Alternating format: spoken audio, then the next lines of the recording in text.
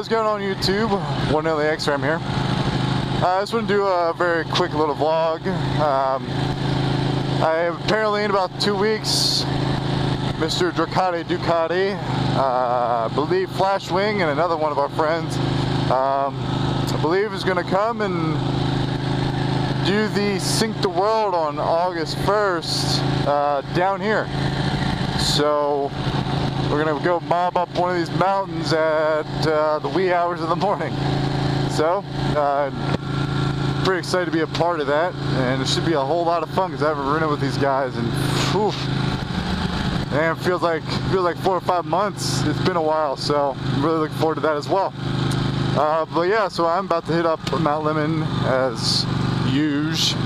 Uh, actually, not huge. It's been probably about a month since I've ridden this thing in general. Uh, so I'll probably add that to this little video here. But uh, yeah, you guys all have a good one and uh, hope to be and have a good little time doing Sync the World. All right, later.